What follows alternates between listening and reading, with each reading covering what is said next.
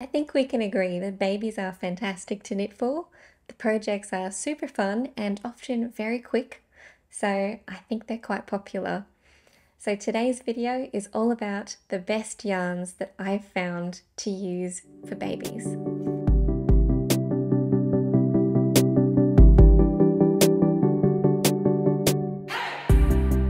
Welcome back to my knitting channel. My name is Nadine, and you can find me at Your Knitting Bestie on Instagram, Ravelry, and here on YouTube.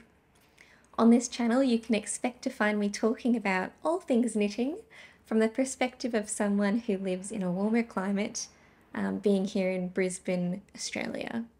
So, in today's video, we are talking about baby yarns.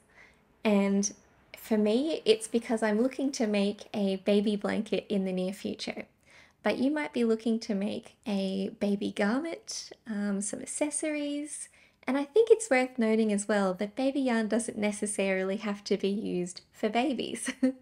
you might prefer to use baby yarns for yourself because you like the softer feel and because perhaps they're washable in the machine washable, I should say uh, that tends to make looking after these things a little bit easier as well. So, what are the criteria that I've used in putting together these yarns for you?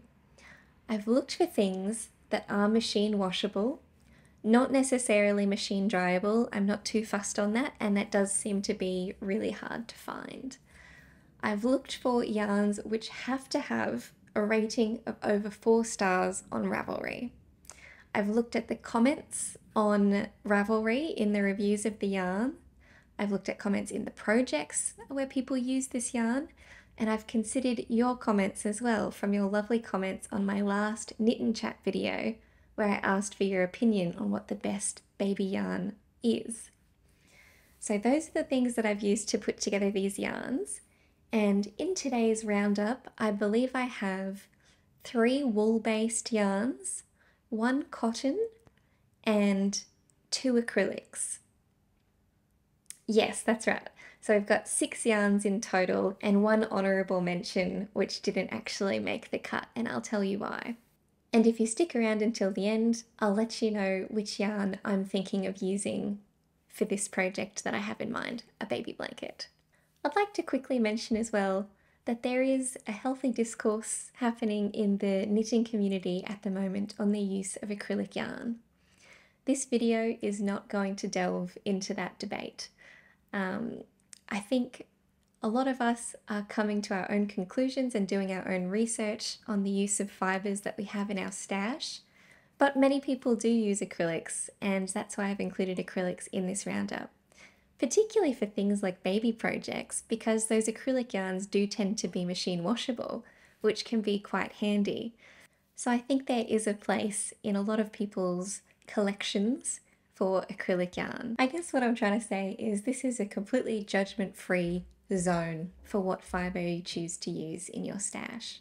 And I should say that uh, this top that I'm wearing today is, I think, it was a while ago, but I believe this is an acrylic yarn that I picked out early in my knitting journey from Spotlight. So I'll do some investigative work and see if I can find that yarn and put it on the screen. Uh, and the pattern, it's just a simple raglan pattern.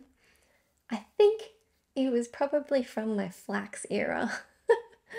I really went crazy with making them for a hot minute. Um, so I think that's where this is from. And so I, I really like this one. I really like how playful the fuzzy vibe is. And I originally bought this yarn because I really wanted to make my sister a fluffy cropped cardigan. And I still kind of do actually. I ended up making her a top like this, but maybe I'll make her a fluffy cardigan too. I should say also that I have used a fair few acrylic yarns before, so I have some experience with them. My concerns have always been around pilling and around uh, the heat regulation aspect. But for something like a baby blanket, I'm not too tied up on that because the purpose of a blanket is to be warm and it's pretty easy to take off um, if it's too warm. And I think the baby that I'm knitting for is also kind of coming in our winter months where a warm blanket would be helpful. Okay, so I'll split this video into categories being the wools, the cotton, and the acrylics at the end, so you can skip through at any time if you'd like. So for each of these yarns, I'm going to give you a bit of information at the start, and then I'll um, tell you my comments on the yarn at the end, just so that we know what we're talking about.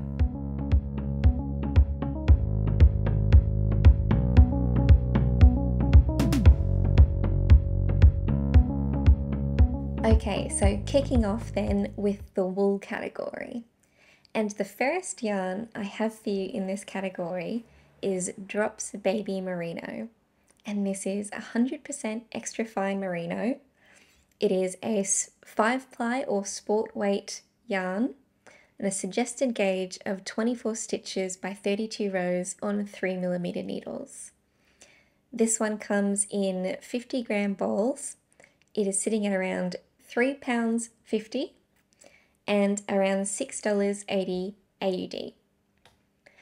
So on Ravelry, this yarn has 4.4 votes from a whopping 5,098 votes. So, needless to say, pretty popular.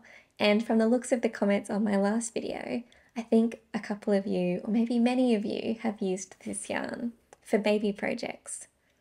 And I can see why it's so popular because the colours it comes in are not the typical baby colours, not just the white, pale blue, pink, yellow kind of deal. It's normal, kind of elevated, sophisticated colours for the sophisticated baby. or for yourself if you're using it for a project for you. So I can really see why that's popular. The only thing that's putting me off it, I think, is the weight of the yarn. So at around um, the 24 stitches and 32 rows to 10 centimeters, I think it's a little bit too light for what I'm looking for. And I can see why you might like a lighter fabric in a warmer climate like here in um, Brisbane. But selfishly, I think it'll take a little bit too long to knit up. So I'm looking for something probably around the DK weight. So if I were to take the sport weight yarn and hold it double, for example, I think it would then be a little bit too thick a fabric for what I'm looking for. It'll probably end up then at around uh, the 10 ply or worsted weight. So not quite right for me, I think. so that's what's pulling me away from this one, but I do really love the colours that it has. Okay, so that's number one. Moving on to the second yarn then in the wool category, which is another one that might be fairly popular. It is Debbie Bliss Baby Cashmerino. So this one is 55% merino, 33% microfiber, 12% cashmere. Very luxurious for a baby. So this one again is sitting at a 5 ply sport weight. So similar sort of comments on the gauge for my particular purposes. I think it would be really nice to have that finer gauge in a garment, but for what I'm looking for in a blanket, possibly a little bit too fine. That one is sitting at 50 grams as well.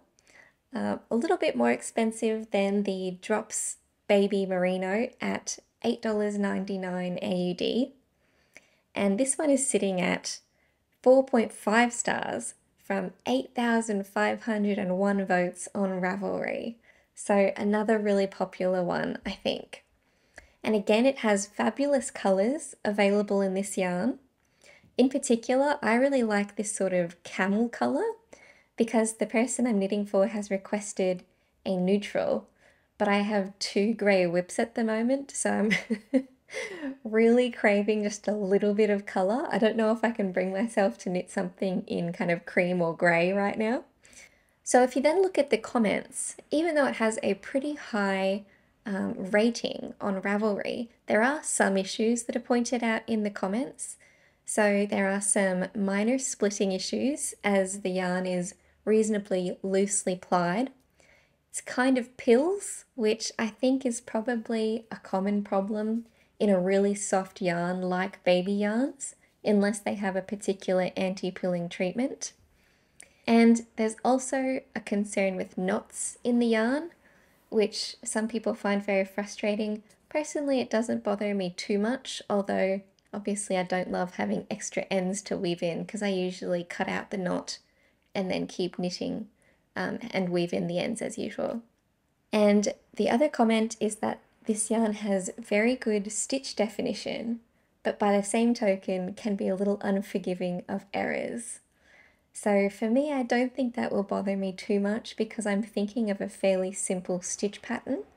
But if you're doing something a little bit more intricate or something that might show um, some differences in tension or things like that, that is something for you to consider. And on the pilling, there was a suggestion on in the Ravelry comments that you might consider using a smaller needle and that would help prevent the pilling. The third and final wool that in this roundup is one that Aussies are going to love. This is from our Holy Grail mill here in Australia, Bendigo Woollen Mills. And we all go wild for this yarn here. We absolutely love it. And it is, um, I believe it's Australian wool that is used to make these yarns. So the one in particular that I would be looking at for th something like a baby blanket is the Luxury 8 ply uh, which has again some fairly good colors. It's a very uh, adult color palette, but I don't mind that look on in baby clothing. I quite like it. I actually like it more than the classic pastels that you tend to see, uh, but of course that's just my preference. So this one is sitting at a gauge that I like a little bit more. It's at that 8 ply DK weight uh, gauge. So the suggested uh, number of stitches is 22 stitches to 10 centimeters on about 4 millimeter needles. So I really like that gauge. That's one of that's like my comfort gauge to use 4 millimeter needles and about that number of stitches. The fantastic thing about Bendigo woollen mills is that they come in these giant ball. you can't say that. Oh, So the fabulous thing about Bendigo woollen mills is that the yarn comes in 200 gram balls. So you get a lot of value in there because it's also only $16 for the 200 gram ball. So if you were to kind of do the math so that the, we can compare apples to apples, given that the others are 50 grams. So if you were to do the math then, that comes out at $4 AUD for 50 grams, which is frankly incredible value um, particularly for the quality of the yarn, because they say that this one is uh, fine micron wool, so about 25 micron wool, which it says on the website. So, of course, they have a vested interest. But it says that they have the most luxurious pure wool yarn available in Australia, which is pretty cool. And this one is sitting at 4.6 stars from 1019 reviews so fairly well loved on Ravelry. So I think this is definitely the best value wool in this roundup. And I really like using it because those high quantity balls means that there's less weaving in of your ends uh, when you finish the project. And I'm one of those knitters who really enjoys knitting and hates finishing. so that is something that I really appreciate. Uh, some people say that this wool has a little bit of a rustic feel to it. I did use the 12, is it the 12 ply? Yes, the 12 ply um, luxury for my antler cardigan. And I can see what they mean with that a little bit. It does have a bit of a more rustic feel to it. But I've read all over the place that the Bendigo Woollen Mills really softens up a lot if you wash it thoroughly. And to be honest, I don't know if I, when I blocked it, I don't know if I had any sort of detergent or wool wash or anything in there. So possibly if I'd done that, it would have softened up even more. But this is uh, the yarn which is suggested by a lot of people for baby projects. So on that basis, I have to assume that it would be fine for, um, you know, soft enough to use with the baby's skin. So that is why it has made the list. And it's definitely a high contender for me. I do mention this because I know that there are some fabulous people watching from outside of Australia. So I was hesitant, a little bit hesitant to put it in this video because it might not be accessible to you. But they do ship internationally. So, and the, the low price point combined with the fact that the Aussie dollar isn't winning any fights at the moment with many other currencies, uh, you might still consider it because even with the, I assume, higher shipping costs, it might still be an economical option for you. So not only does this one have the lowest cost per 50 grams, but this is also the highest rated wool in this roundup. So you can see why us Aussies absolutely love Bendigo Woollen Mills.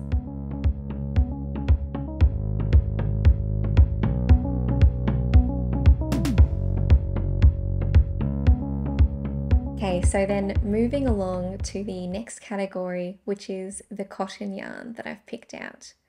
And I did see some people mention that they like using cotton in their baby blankets on the comments on my last video.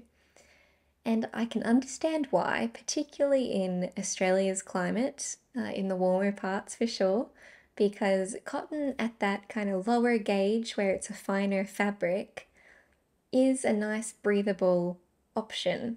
And it might mean that um, you can get more use of it in this climate or if you're knitting overseas, you might opt to use something like a plant fibre um, where the baby is being born in your warmer months because of course the baby blanket maybe might be higher use when they're quite small.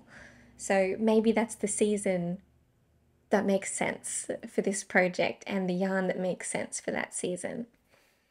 So the one I've picked out is um, King Cole Cottonsoft DK, which is 100% cotton. And this one is, as the name suggests, an 8 ply or DK yarn. So the suggested gauge is sitting at 22 stitches and 28 rows on 4 millimeter needles. And this one is 100 grams per ball. So that's coming out at 4 pounds 40 or about $8.50 AUD. So in 50 gram terms, uh, you're sitting at around $4.25-ish. AUD, which is fairly reasonable, I think. And this one is another one which is fairly highly rated. So 4.6 stars from a lower amount of votes, 342. It is worth noting though that this one, the 4.6 rating, means that this is tied with the Bendigo Woollen Mills for the highest rated yarn in this roundup. So it is one to consider. This one does have 21 colours, so a good range there as well. It does have some comments, uh, which I think you'd probably expect for a cotton yarn. So there's a comment that it has a bit of a dry hand feel. So the comment said you might perhaps have some hand cream nearby if you're using this yarn, which is a great suggestion. It sheds, um, although there was a comment that said they sh it shed during knitting but not after washing so that might be a point in its favour. And the usual issues with a cotton yarn, so the fact that it might stretch after wear. So that's something to consider for a high use garment, perhaps. Although, I mean, children grow pretty quick, I'm led to believe, so maybe it wouldn't be worn enough that the stretching would become an issue. But for a blanket, I think that's probably okay because if it stretches out, we don't mind too much. It's just a slightly bigger blanket. So that is something to think about as well if you're knitting for a summer baby. I'll do my honourable mention here. So I saw in the comments that a lot of people suggested using a bamboo combination or just a bamboo yarn. And I looked up what I could find um, in that category. So what jumped out to me was the Snuggly Baby Bamboo DK, which is 80% bamboo, 20% wool. And that's 50 grams, sitting at $9.70 AUD. So I thought originally that that might be a good option because I really liked having the little bit of wool in there because bamboo can be quite a slippery fiber, but wool has some tooth to it. So it could be that the kind of uh, raw nature of the wool gives the bamboo some more gripping power and you have a little bit more control when you're knitting. But when I looked into a little bit further, so this one had uh, 4.3 stars on Ravelry from 3,079 votes. So on the lower side, if not, actually it is the lowest rated yarn in this roundup, which is why it didn't make it in to the official, the official roundup. So I excluded this one because of the many comments saying that it doesn't wash well. It felts and it sheds a lot, and also that there were a heap of knots throughout the knitting um, sorry, a lot of knots throughout the yarn. So that is why I decided not to include it in this official roundup. But I mention it because I'd love to hear your suggestions on any bamboo or bamboo combination yarns that you use for babies.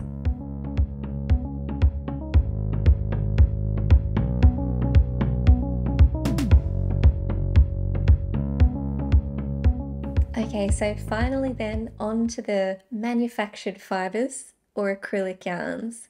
So I've got two for you and frankly they both look pretty good.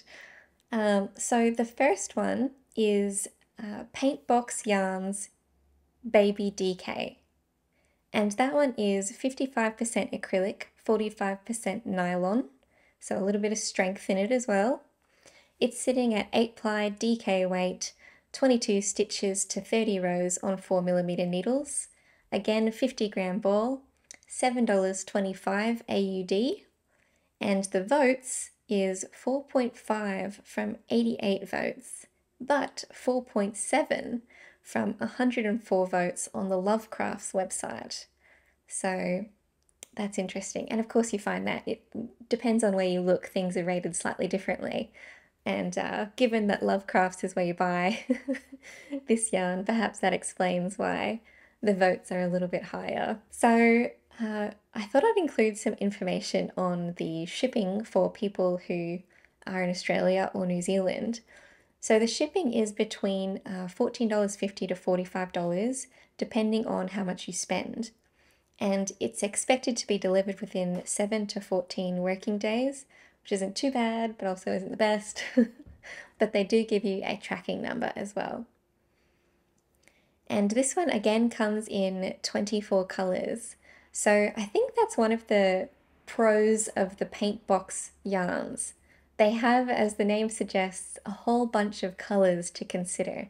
So if you're doing a multicoloured project for your blanket or for your garment, you might consider using this one for that range of colours, all of which from memory are nice and bright. So that's the first acrylic yarn. And the second one is Fiddlesticks Superb 8, which is 100% anti-pilling acrylic.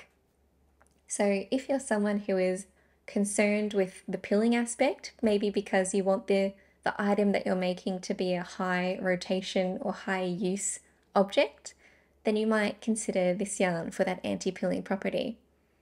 So this one is again an 8 ply or DK weight yarn. The suggested gauge is 22 stitches to 30 rows on 4mm needles and it is 100 grams sitting at $6.80 AUD. So in 50 gram terms, you're looking at $3.40. So exceptionally affordable there. And on Ravelry, this one is again fairly highly rated, although a lower number of votes. So 4.5 stars from 90 votes. And I think this one, I'll have to go back and double check, but I think this one takes the crown for the most economical yarn. So the reason I'm particularly interested in this yarn is because I saw a comment from someone who routinely leaves comments on my videos. So, hello, you know who you are. Um, there was a comment that this particular yarn has withstood some rigorous washing from the recipient. So, that is excellent to hear because I think that's a possibility. That's why I've chosen yarns for this roundup which can withstand being machine washed. And to hear that it holds up to rigorous machine washing is very comforting to me.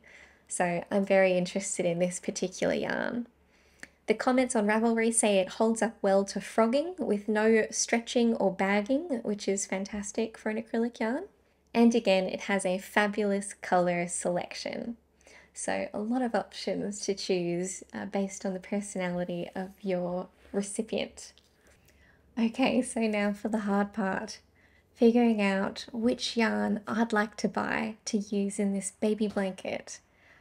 So I actually just took another five ten minutes off screen to go through the options again and look at the colours again because I'm struggling to make up my mind for sure. Um, oh. Look, the Bendigo Woollen Mills is always up there on my list, and I'm just I'm trying to drag myself away from it because I think it would be good to try some other yarns as well instead of always going to my emotional support mill. Uh, so I think I should try something else. I'm tempted by the King Cole Cottonsoft as well, um, particularly given that high rating that it has, the 4.6 stars, and how economical it is as well. But the thing is, I just don't love knitting with cotton, um, which is a shame for me here, but it is what it is. It tends to be a little bit harder on the hands, I find, because the yarn lacks that elasticity. So I think I think I'm gonna go with the Fiddlestick Superb 8, which is one of the acrylic yarns. And I really like that it is anti-pilling because I hope that this will be a really high use item. And I saw a comment from someone saying that one of their blankets had turned into the everyday blanket, which I think is just the highest compliment because I believe I understand that Children are quite fickle creatures, so if they're using your project all the time, it must be quite exceptional indeed. And I hope that mine gets there. So, the real reason that I'm going for this yarn is the fact that someone had said that it held up really well to significant washing. That is the factor that I think is cinching the deal for me.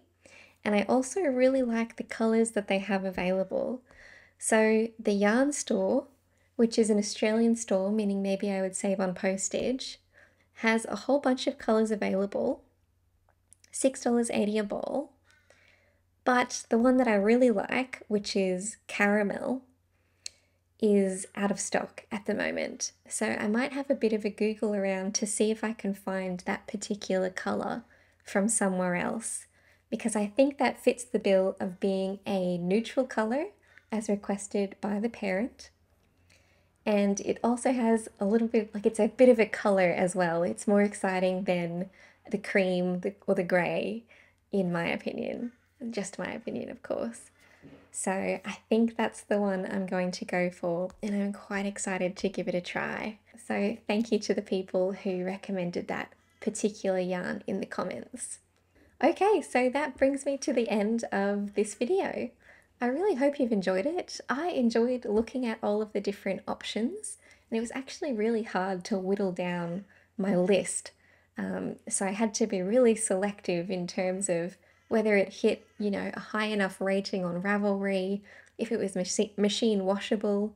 So, for example, another great suggestion people had was the cotton from Austra- um, from Bendigo Woollen Mills, which is of course wonderful as well but that one is hand wash only, so unfortunately it was excluded from this video. So yeah, it was quite difficult to find uh, just to limit it to a small number of yarns. So I'd be really interested to hear if you have other options that you like using, um, and if you're someone who is looking for a baby yarn to use, then I'd really encourage you to read the comments both on this video and on my last knit and chat, uh, where people left comments on the same sort of topic uh, because I firmly believe that a knitter's best resource is other knitters, and there are some fabulous knitters who watch this video, if I do say so myself. So thank you very much if you're one of those fabulous knitters who watches my videos. You are so appreciated. Um, and if you liked this video or found it helpful, it would be wonderful if you would hit like. I'm led to believe that helps the video go places. And if you haven't already subscribed, it would be terrific if you would consider subscribing so that you can see videos from me in the future. So thanks again for watching and I'm really looking forward to talking to you in the next video.